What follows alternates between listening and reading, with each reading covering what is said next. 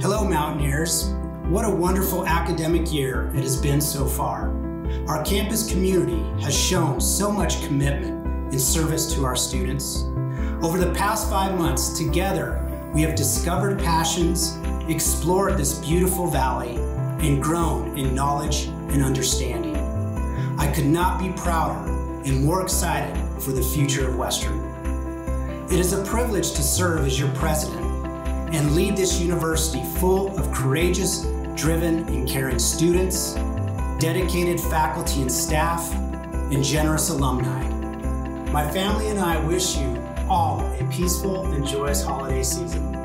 We hope you find time to rest up or rev up, whatever your style is, and that all is enjoyed in the company of family and friends.